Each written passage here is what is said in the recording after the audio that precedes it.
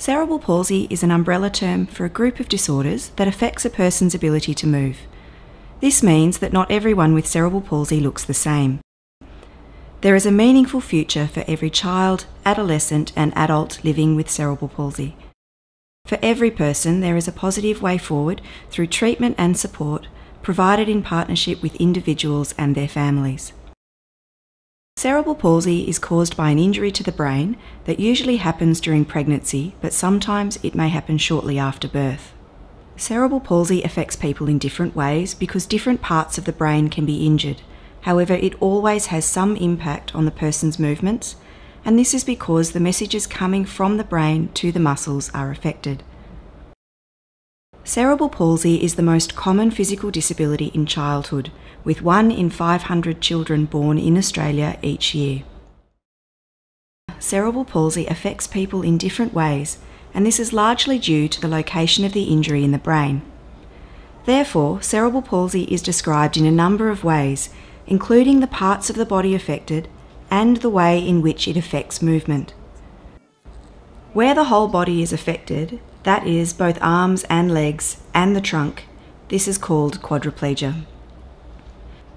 Where both legs are mainly affected, this is called diplegia. People with diplegia often also have difficulties with fine movements of their hands. When one side of the body is affected, for example the left arm and the left leg, this is called hemiplegia. The next way of describing cerebral palsy is to talk about the way it affects movement and the type of movement difficulties experienced by people with cerebral palsy. Spasticity is probably the most commonly known term. Spasticity is present in about 86% of people with cerebral palsy. It results in muscles that become stiff and tight, which can make it difficult for someone with spasticity to use their muscles easily. It is difficult for someone with spasticity to turn their muscles on and off when they want to.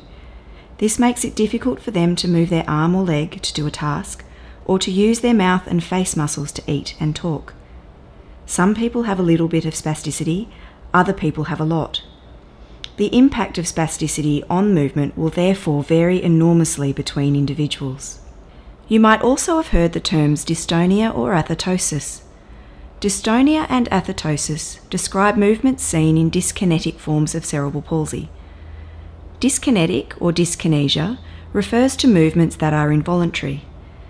These involuntary movements can become more noticeable when a person tries to move or when they become excited, agitated, or tired. Dystonia results in unusual twisting postures, repetitive movements, or sometimes both. Dystonia can present in one part of the body, such as an arm or foot, or throughout the whole body.